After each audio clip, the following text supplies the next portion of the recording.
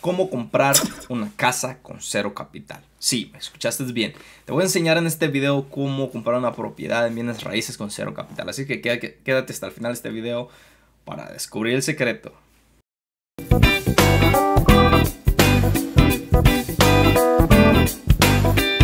Hey, bienvenidos una vez más amigos, tomé una Naftali Palma y ahora con este video acá de cómo comprar una propiedad con cero capital, ¿verdad? Así es que hey, estamos aquí con todos los poderes otra vez este lunes, ah, hermoso lunes, así es que vamos a darles un poquito de información, ¿verdad? Me, motivo cuando comienzo a compartir tal vez información que yo sé, no me la quiero quedar yo solo, ¿verdad? Uh, personas allá afuera necesitan saberlo, porque a veces que queremos hacer algo y topamos con una pared. Y a veces, ¿qué es lo que hacemos? Nos rendimos ahí justo a esa pared, ¿verdad? Y no buscamos la salida. ¿Qué hay que hacer cuando topamos con pared? Hay que buscar una puerta, ¿verdad? Hay que brincar ese muro. Entonces, no te quedes topando ahí nomás porque no tienes dinero. O sea, dices, oh, no me puedo meter en real estate, no puedo comprar una propiedad porque no tengo dinero. No te digas eso. Mejor pregúntate, ¿cómo puedo hacer si no tengo dinero? ¿Qué habilidades yo tengo? ¿Qué puedo traer a la mesa para poder comprar una propiedad, verdad? Y eso es lo que vamos a estar hablando en este video, de ser creativos, de no ser uh, monótonos, de no, de no ser, de no quedarnos estancados ahí, nomás porque tenemos un problema, nos quedamos estancados, ¿verdad? En este, en este caso, si no tienes dinero, tienes un problema, estás estancado. ¿Qué, ¿Qué hay que hacer? Hay que brincar ese muro, hay que buscar una puerta, hay que buscar una solución, ¿verdad? Entonces, de eso vamos a estar hablando ahora. Y le voy a estar, tal vez algunos de ustedes ya se están preguntando, está loco este, ¿verdad? ¿Y cómo vamos a comprar con cero capital? Algunos de ustedes ya saben, ¿verdad? Ah, y, si ya tienen otras ideas de cómo comprar con cero capital después de que vean este video, déjamelo en un comentario. Yo me encanta aprender cada día más. Y vamos a aprender del uno del otro, ¿verdad? Si es que, o si quieren que haga un video de, alguna, de algún tema específico, déjamelo en un comentario. Escríbeme. Ah, yo les contesto a sus comentarios también, ¿ok? Así es que, bueno, no olvides también de darle like y suscribirte también a mi canal, tocar esa campanita para que seas una de las primeras personas que reciba una notificación cuando un video de esto salga, cada lunes, ¿ok? Así es que destroza ese botón de me gusta, cuesta nada y ayuda muchísimo al canal de YouTube y a mí también, ¿ok? Así que muchísimas gracias. Bueno, let's get right into it, ¿ok? Bueno, let's do it. Primero que nada, yo sé que como les digo se están preguntando cómo hacerle. Te voy a dar un par de opciones. Primero, si no tienes capital te tienes que preguntar qué habilidades yo tengo o qué puedo traer a la mesa, ¿verdad? Para poder atraer valor a alguien y poder hacer un negocio, ¿verdad? So, primero que nada es, te tienes que educar. Si quieres comenzar a invertir en real estate, te tienes que educar. No necesitas pagar por educación.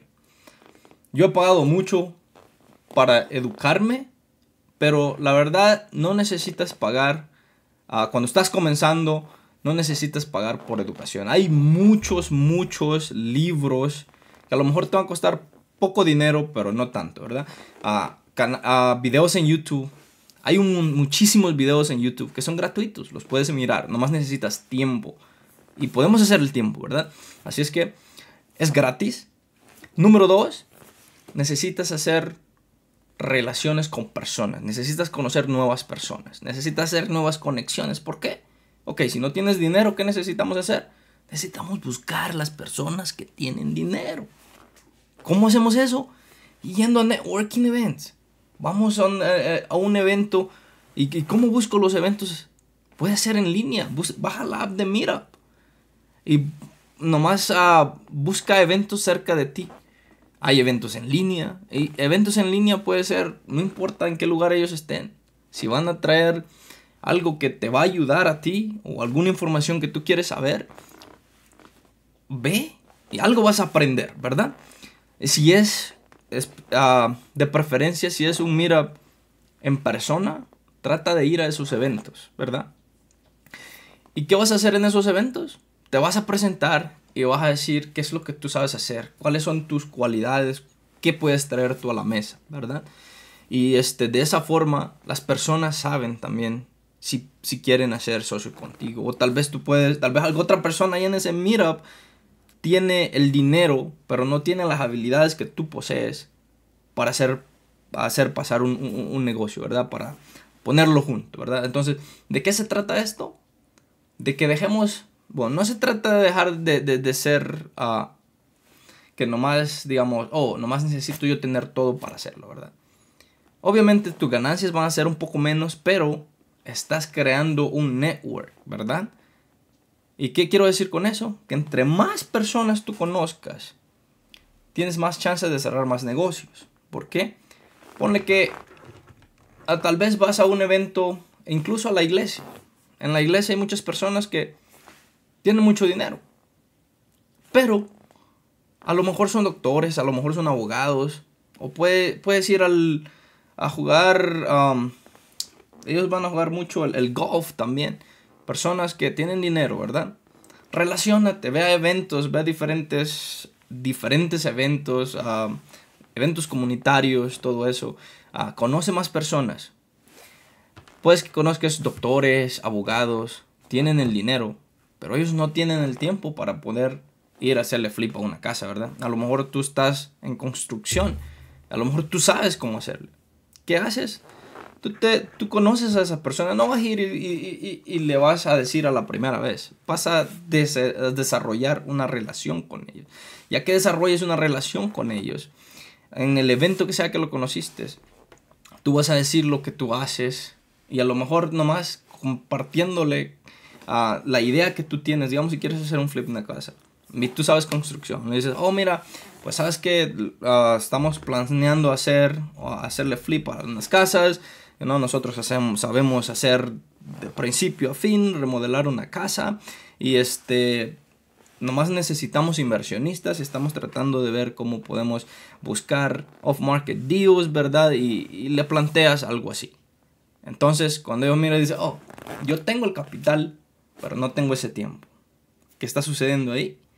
Hay dos personas uno con tiempo, en este caso, digamos tú, suponiendo, ¿verdad?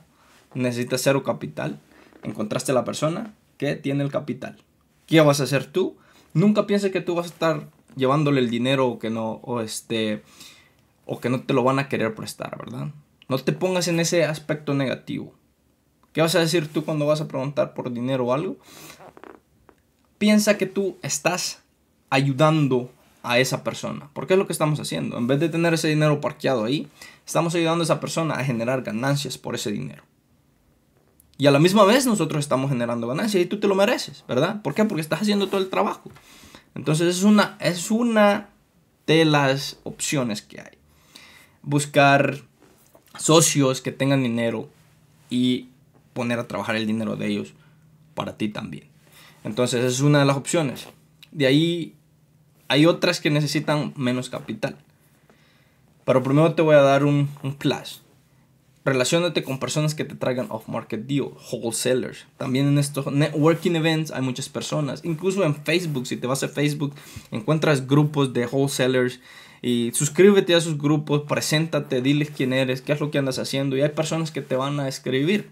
Personas que ah, a lo mejor andan buscando a alguien así, o tal vez los wholesalers, y tú les dices que vas a hacer flip, te van a agregar a su lista y te van a mandar esos dios antes de que salgan al mercado, ¿verdad? Y tú quieres eso también para tener menos competencia. Recuérdate, cuando son off-market, la mayoría de dios tienen que ser cash. Y es por eso que necesitas tú a esa cash cow, a la, a la vaquita, ¿verdad? A esas personas que tienen el dinero, pero nomás lo tienen sentado ahí. Entonces tú necesitas a esas personas. Eh, después hay otras que se llaman puedes buscar como financiamiento creativo, ¿verdad? ¿Qué es un financiamiento creativo? Haz de cuenta que tú encuentras una propiedad y dices, quiero comprar esta propiedad. Vas y hablas con el dueño. ¿Qué le vas a decir al dueño? Bueno, mira, no tengo mucho capital, pero podemos hacer esto. ¿Verdad? Tú le dices, le planteas tú lo que sea que, quieras, ¿verdad? Puedes decir, hey, tengo 10 mil dólares. ¿Qué tal si tenemos 10 mil dólares? Formamos un contrato, ¿verdad?